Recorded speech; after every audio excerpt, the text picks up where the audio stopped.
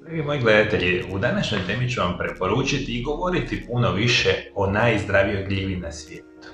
Ova gljiva se tisućama godina unatrag koristi specijalno u medicinama dalekoga istoka. U Kini, Japanu, Koreji i sličnim dakle, zemljama tisućama godina se poznaju zdravstvene blagodati. U današnjoj emisiji ćete saznati koje su to gljive, koje su zdravstvene blagodati i koji će moje, moje biti preporučeni načini da konzumirate ove gljive.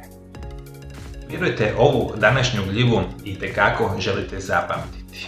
Jer ukoliko nikada niste čuli, postoji jedna gljiva koja se naziva kraljem gljiva i naziva se reishi gljive. Reishi gljive je jestiva vrsta gljive koja zbog svojih ljekovitih sposobnosti koristi se tisućama godina i smatra se pravom super hranom. Poznate kao Ling Ji na kineskom, ove su gljive protuupalne i povezane sa dugovječnošću. Kroz povijest u holističkoj medicini reishi su gljive smatrale adaptogenim biljkama. E, šta znači adaptogene biljke? To znači da oni imaju fenomenalnu mogućnost djelovanja na funkcioniranje vašeg mozga. Specijalno nevjerojatno dobro djeluju na pojačavanje vašeg imuniteta, smanjivanje razine stresa, depresije i anksioznosti na potpuno prirodan način i rekao sam medicine, holističke medicine dalekoga istoka to koriste tisućama godina. I ono što mi danas zapravo znamo, u zadnjih ne znam, nekoliko desetljeća imamo izuzetno veliki broj studija koje pokazuju koje su njihove zdravstvene blagodati. Ono prvo što vam zapravo htio reći, e, zahvaljujući koncentriranim spojevima koje ove gljive sadrže, apsolutno imamo nevjerojatne mogućnosti prije svega djelovanja na smanjivanje samoga raka. I to ono što vam specijalno želio dakle, skrenuti pozornost. Jedno od najboljih e, dakle, generalno dakle, prirodnih načina sprečavanja nastanka raka biti će vam reishi gljiv. Reishi e, gljive e, apsolutno u sebi imaju jedne vrste komponenta koje se nazivaju polisaharidi, koji imaju antitumorske sposobnosti.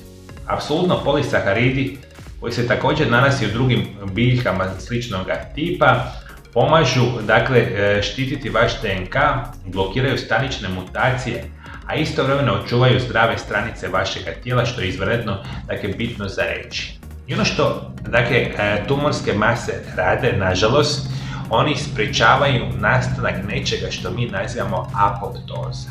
apoptoza je dakle, prirodan proces odumiranja svakih naših stanica jer tako oni dakle, rastu. Dakle, nastanu, prođu dio kako odrastu i trebaju odumrijeti. Međutim, nažalost, tumorske mase to zaobilaze i ono što rade zapravo reiši gljive, potenciraju apoptozu i stanično odumiranje stanica raka što i tekako žele.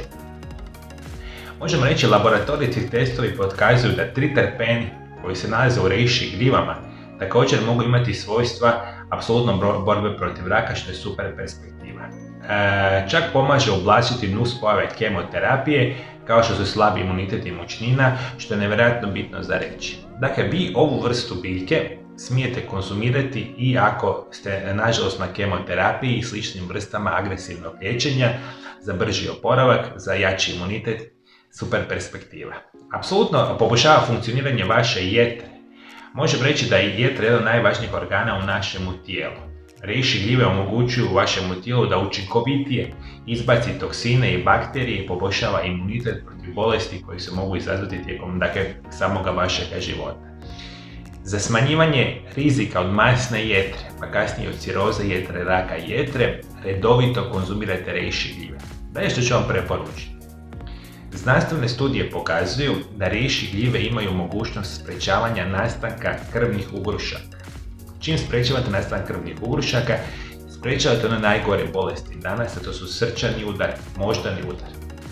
Riši gljive poboljšavaju dakle, funkcioniranje vašeg srca, prirodno smanjuju visoki krvni tlak. Super perspektiva. Apsolutno razmišljate da uravnotežuju razine hormona. Apsolutno djeluju kao adaptogeni, oni mogu pomoći vašemu tijelu da se učinkovitije nosi apsolutno sa stresom i regulacija samih hormona.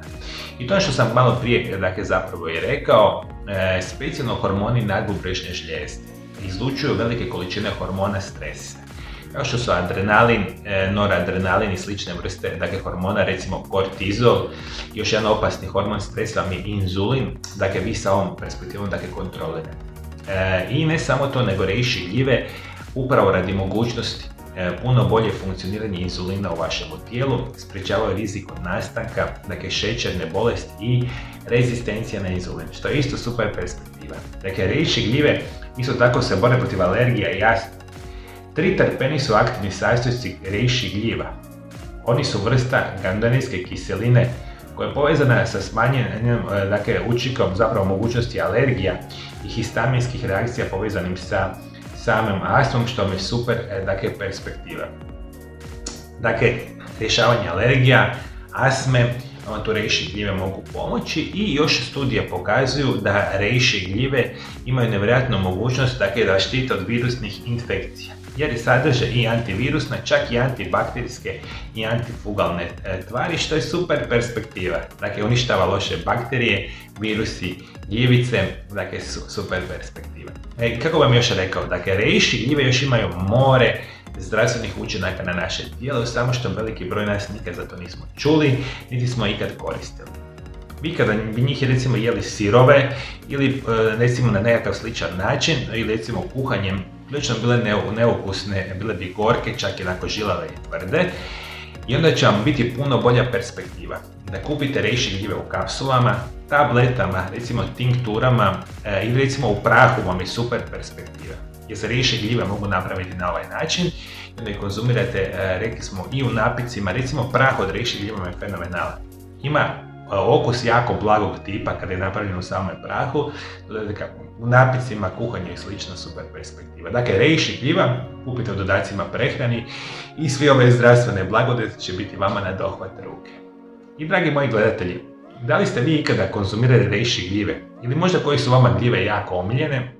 Ukoliko niste u stanju doći u moju ordinaciju na liječenje, imate veliku mogućnost dogovaranja mojih privatnih telefonskih konzultacija. Konsultacije radim desetljećima sa pacijentima iz cijeloga svijeta. Konsultacije putem telefona se rade na hrvatskom ili engleskom jeziku. Za više informacija nazovite brojeve telefona koje vidite na ekranu za pacijente iz Hrvatske. Isto tako nazovite brojeve telefona za pacijente iz cijeloga svijeta. Još više informacija mojim privatnim telefonskim konzultacijama možete saznati na mojoj internetskoj stranici www.mariolab.eu. Isto tako ove informacije možete pogledati ispod svakog mog video zapisa imate poseban link koji možete pogledati. I naravno, ukoliko želite svakodnevno primati moje savjete o najboljim prirodnim načinima liječenja, dolje ispod video zapisa pretplatite se na moj kanal. Koje se smatra najzdravijom i najjačom biljkom na svijetu, to možete saznati u ovom video zapisu pored mene. Koja je najjača je biljka sa najjačim antioksidativnim svojstvima što nikada ne čuli, ali koji se interesira pogledajte ovaj video zapis. Hvala lijepo što me pratite do druge emisije, lijep ugodan pozdrav.